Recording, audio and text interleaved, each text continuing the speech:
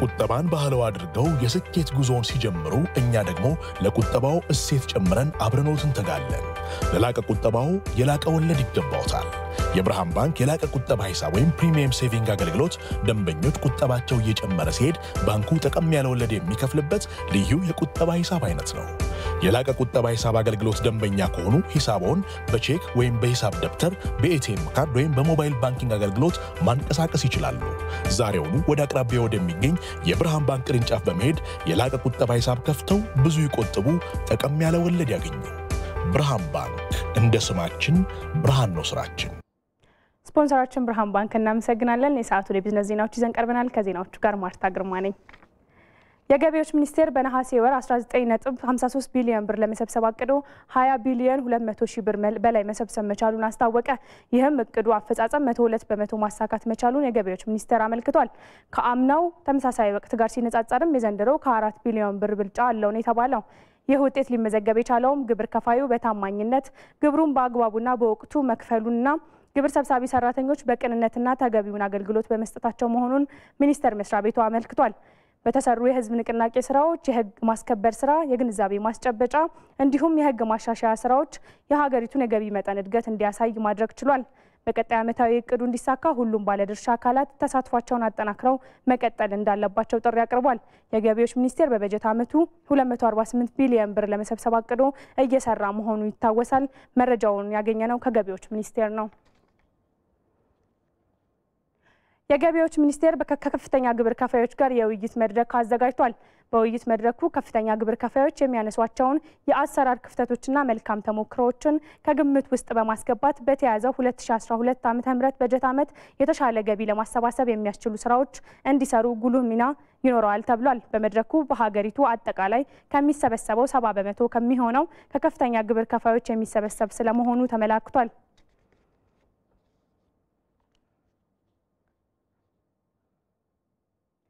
የውጭ ኮንትሮባንድን ለመግታት በ2012 በጀት ዓመት የኤክስፖርት ምርቶች ላይ ትኩረት ተደርጎ ህገወጥ ንግድን ለመግታት እንደሚሰራ የጉምሩክ ኮሚሽን አስታወቀ።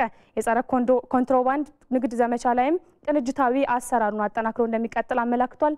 ወይንሸት ደጀኔ በጉምሩክ ኮሚሽን ሞያሌ ቅርንጫፍ በስሩ ስድስት የመቆጣጠሪያ ጣቢያዎች አሉት። በእነዚህ ቅርንጫፎች በወጪና ገቢ ኮንትሮባንድ እንደ ኤሌክትሮኒክስ፣ ልባስ ጨርቅ፣ መድኃኒትና አደንዛዥ እጽ የመሳሰሉት ይተላለፋሉ። በ2011 በጀት ዓመትም 171 ሚሊዮን ብር የሚያወጡ የገቢና ወጪ ኮንትሮባንድ እቃዎች ተይዘዋል። ኮንትሮባንድን ለመከላከል በተሰሩ ስራዎችም በመቆጣጠሪያ ጣቢያዎቹ የኪራይ ሰብሳቢነትና በህብረተሰቡ ዘንድ ኮንትሮባንድን የመደገፍ ሁኔታ እንደሚስተዋል ነው የቅርንጫፉ ስራ ኃላፊዎች የሚገልጹት።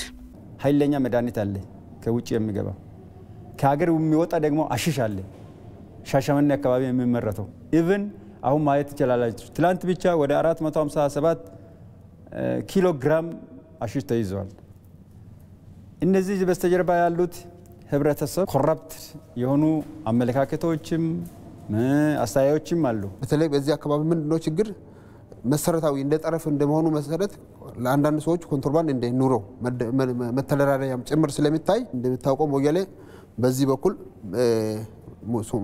ሶማሌ ክልላዊ መንግስት ስር ነው የምትተዳደረው። በዚህ በኩል ያሉት ደግሞ በኦሮሚያ ክልል ስር ነው የሚተዳደሩት። ስለዚህ እያንዳንዱ የሚሰራው ስራ ከጎሳ perspective ከጎሳ politics ጋር የሚቆራኝበት ሁኔታ ስላለ ከፍተኛ ችግር ነው። ሌላ ደግሞ ከኬንያ እና ከሶማሊያም እንደዚሁ የተጣበቀች ናት ሀገሪቷ።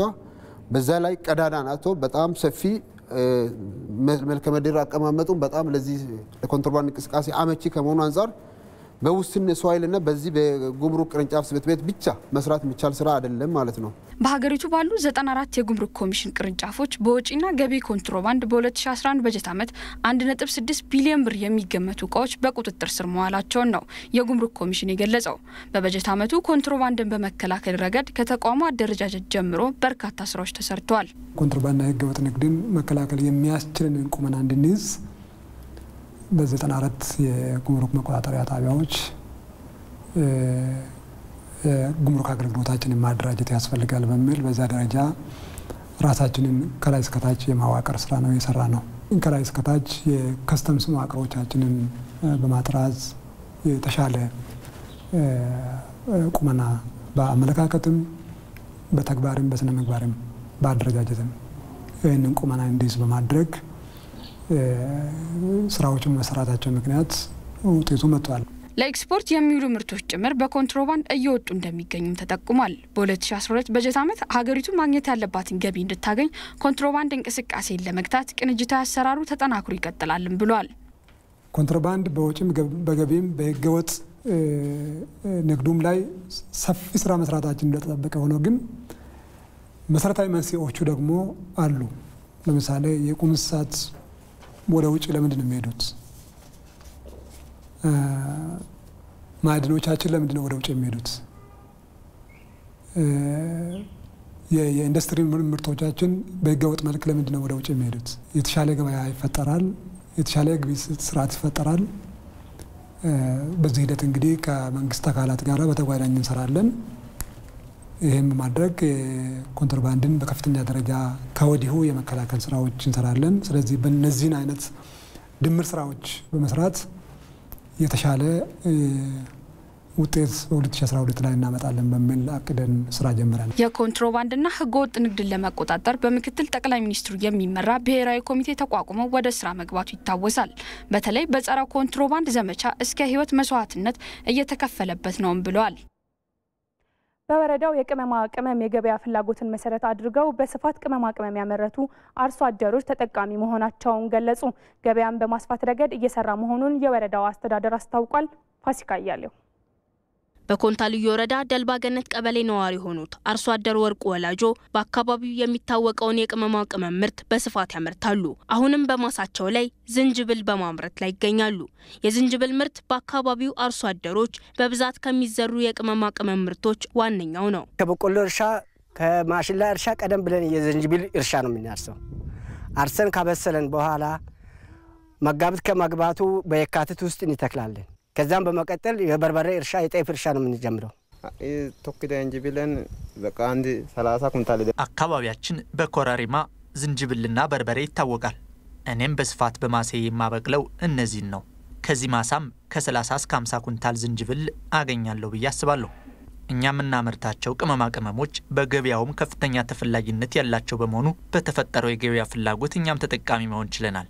በልዩ ወረዳው ዝንጅብል በዋናነት የሚመረት ቢሆንም ሌሎች በርካታ የቅመማ ቅመም ምርቶች የሚገኙ ሲሆን አርሶ አደሮቹ ምርቶቹን ወደ ገበያ የማድረስ አቅም እያዳበሩ መሆኑን የተገለጸው ደልባ ቀበሌ እንግዲህ ወደ ማዕከላዊ ገበያ ከሚላኩ ምርቶች የቅመማ ቅመም ምርቶች በዋናነት ያው ዝንጅብል ነው ከፍተኛውን ደረጃ የሚይዘው። በሁለተኛ ደረጃ የበርበሬ ምርት ነው።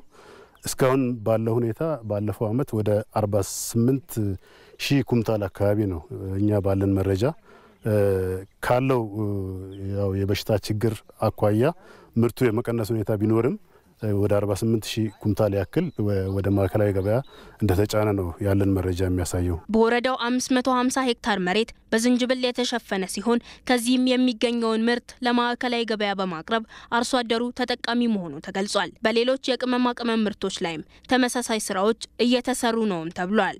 ዝንጅብል ላይ በሄክታር እስከ 140 ኩንታል በማግኘት ለማዕከላዊ ገበያ በከፍተኛ ሁኔታ እያቀረቡ ያሉበት ሂደት አለ። ኮሮሪማም ከፍተኛ ምርት ያለበት አካባቢ ነው።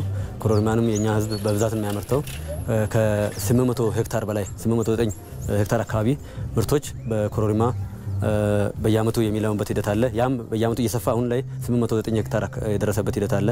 እሱንም ወደ ማዕከላዊ ገበያ በማድረስ የኛ አካባቢ በሰፊው እያለማ ነው የሚገኘው። በርበሬ አካባቢው ያው ልምዱ የለውም። ነገር ግን እስከ 400 ሄክታር በዚህ አመት እየለማ ያለበት ሂደት ይታያል። በተለይ የዝንጅብል ምርትን የሚጎዱ በሽታዎችን በመከላከል ምርቱን ከጉዳት የመጠበቅ ስራና ምርታማነቱን በመጨመር አርሶ አደሩ ሰፊ ገበያ እንዲያገኝ የማድረግ እንቅስቃሴ እየተሰራ መሆኑም ተገልጿል። ዛሬ በሁሉም ንግድ ባንኮች አንድ የአሜሪካን ዶላር በ29 ብር ከ21 ሳንቲም እየተገዛ በ29 ብር ከ79 ሳንቲም ይሸጣል። ብሔራዊ ባንክ አንዱን ግራም ባለ 24 ካራት ወርቅ በ1483 ብር ከ63 ሳንቲም ከሀገር ውስጥ ወርቅ አቅራቢዎች ይገዛል። ተጨማሪውን አብረን እንከታተል።